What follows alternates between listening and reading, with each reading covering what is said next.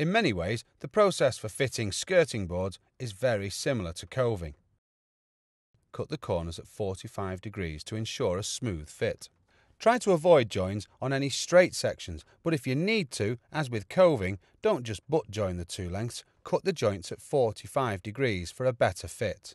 To fix the skirting to the wall, use adhesive and oval wire nails or screws every 600 millimeters. The nails should be punched below the surface and filled for a smooth finish. Screws should have countersunk holes which can be covered over with filler.